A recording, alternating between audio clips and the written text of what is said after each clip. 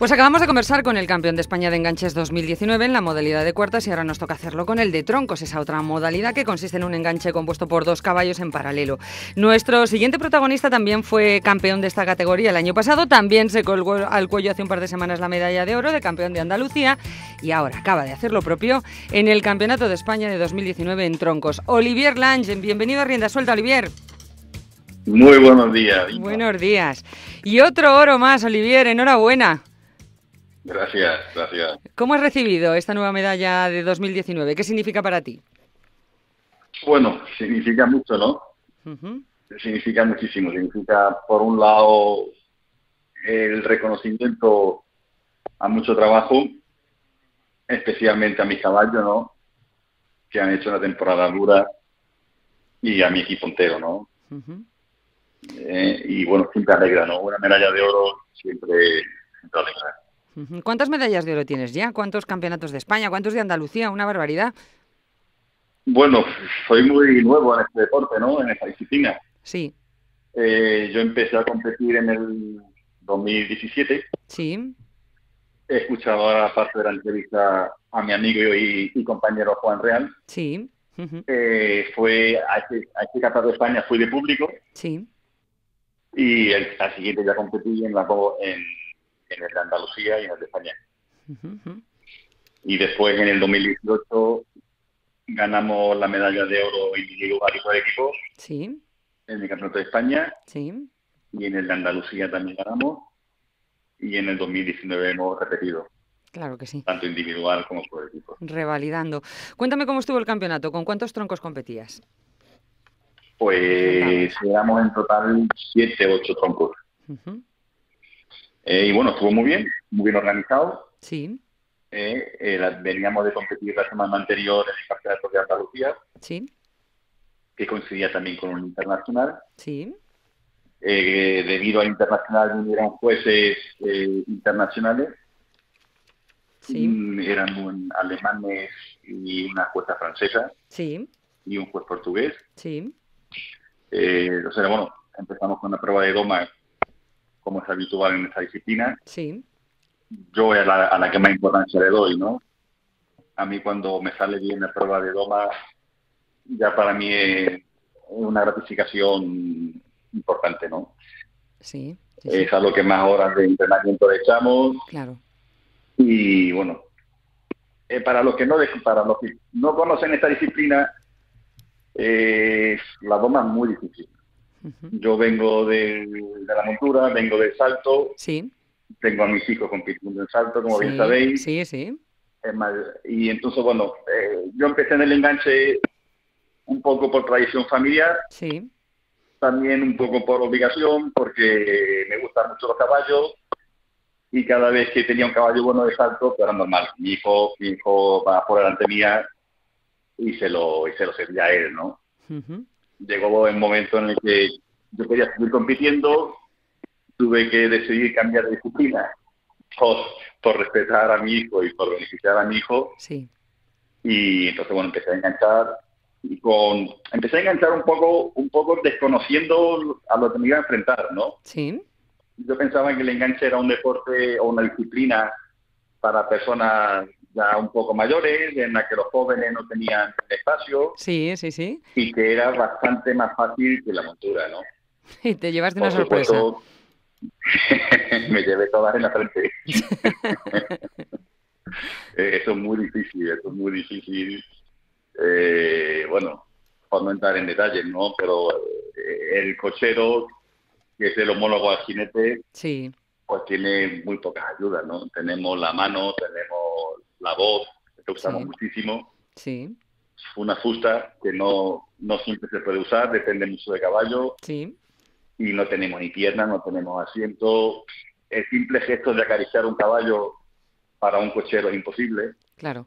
Porque no llegamos a los caballos y tal. Entonces, bueno, pues, bueno, pues las dificultades enormes. Y a partir de ahí empecé a enganchar, a trabajar, me, me rodeé de gente que me ayudó muchísimo. Sí. Tanto en España, todos los que competían me recibieron con los brazos abiertos, me ayudaron mucho y luego me fui a Alemania y me puse a las órdenes de Michael Freund. Y ahí fue donde eh, te curtiste de lo lindo. Efectivamente, ahí fue donde dije, esto hay que aprenderlo. Esto no es fácil, esto hay que aprenderlo. Si uno se pone, se pone en serio. Y desde entonces, de desde entonces estás enganchado, nunca mejor dicho, a este, a este deporte. ¿Qué hay que tener para ser un buen, coche, un buen cochero, un buen atleta, Olivier? bueno, eh, lo mismo que lo que tiene un jinete, ¿no? Eh, un jinete, yo creo que en este, en este deporte cualquier disciplina hípica requiere mucho esfuerzo, mucha disciplina y yo le tengo gran admiración y gran reconocimiento a todos los jinetes que consiguen, sea la disciplina que sea, en la que consiguen hacer algo bien. Porque todo es difícil, esto es muy difícil, la vaquera, la clásica, el salto, el ride, el golpeo. Sí, sí, sí, Esto es muy difícil. Es que se ve en la pista que, parece que no cuesta trabajito, ¿verdad? Cuando ya la cosa sale rodada y uno ya lo tiene un poco controlado y parece que no es nada, pero detrás hay muchísimo trabajo. Mucho, mucho, mucho, muchas horas. Muchas horas, son muchos caballos, además cada caballo tiene su punto fuerte, su punto débil, tienes que interpretar cuál en la loma, cuál usas en el campo, cuál usas en la manejabilidad. Y bueno, los caballos tienen que servir para todo, ¿no? Claro. Pero luego hay uno mejor que otro en la loma, tienes que combinar, tienes que interpretarlos bien, cómo están en el día de la competición. Un trabajo en equipo al final. Claro. Sí, sí, sí, sí. Bueno, ¿y cómo se coordinan los caballos para que te obedezcan en esas pruebas, sobre todo en la manejabilidad, Olivier? Pues mira, la manejabilidad siempre ha sido una prueba, llamémosla una prueba tonta, y en los últimos años se ha convertido en la prueba en la que se deciden las medallas, ¿no? Sí. Eh, los caballos llegan cansados de maratón, llegan muy alterados. Sí. Cualquier de ellos están, vienen todavía con el kit de avanzar, avanzar, avanzar. Y en, la, y en la manejabilidad necesitamos un caballo tranquilo, un caballo que esté de la mano, un caballo que espere la orden de salir, que no se adelante, que no se revolucione, que no cambie, que no se incurva antes de la cuenta, porque hablamos de muy pocos centímetros entre la rueda y el cono, ¿eh? Muy poco, muy poco. Y, el trazado es muy difícil. ¿eh? Vas izquierda, vas derecha, vas para adelante, vas para atrás, y el caballo tiene que esperar. Claro. Y no olvidemos que el día antes el caballo es todo lo contrario. El caballo no espera. El día antes le pedimos al caballo que avance, que avance, y que no espera nada ni a nadie. Claro, claro, claro. Le volvéis loco. Mm, así es. Esto es difícil. Bueno, Cabriolo, Ferro, Califa, Zúquero, Connery son los nombres de los caballos con los que has competido en este campeonato de España. ¿Qué tienen estos de especial? Bueno, eh, yo tengo que hacer una mención especial a Cabriolo. Cabriolo es un caballo que lo compré hace tres años. Eh, no, mentira, cuatro un caballo que no había tocado la competición. Sí. Y eh, me sirve para todo. Este, este, lo uso en la doma, eh, está haciendo domas muy buenas. Lo uso en el campo, está haciendo campos muy buenos. Y luego lo uso en la manejabilidad. Entonces, para mí es el líder del equipo, ¿no? Sí. Y a él, pues, le acompañan en el campo, en el Campeonato de España, le ha acompañado Chúqueres. Sí. Este caballo viene de ganar el Campeonato de Alemania este año en la prueba de maratón. Fíjate.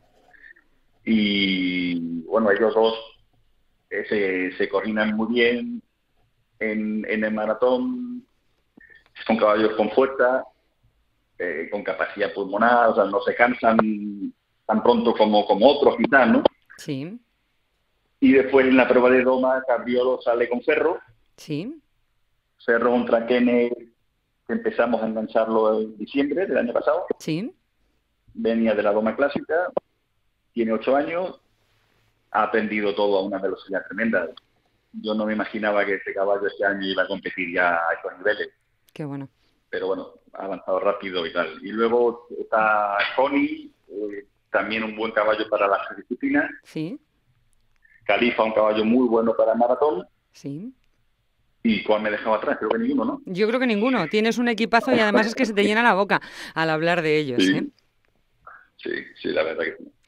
Bueno, Olivier, supongo que no te conformarás con este oro, que como poco irás a por el del 2020, ¿no?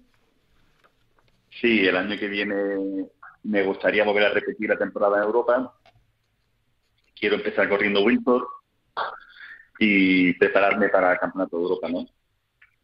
Y después, por supuesto, para mí la prueba más importante o a la que más me alegra ganar o competir el Campeonato de España. Ole. Pues a por ello. A por ello y adelante. Pues Olivier Lange, medalla de oro, lo que es lo mismo, campeón de España de enganches en la modalidad de troncos. Olivier, enhorabuena por este nuevo oro. Sigue adelante a por muchísimos más y muchísimas gracias por tu presencia en Rienda Suelta. Gracias, Linda. Muchísimas Un abrazo, gracias. Rienda Suelta, en Radio Intereconomía, con Inma Ugarrio.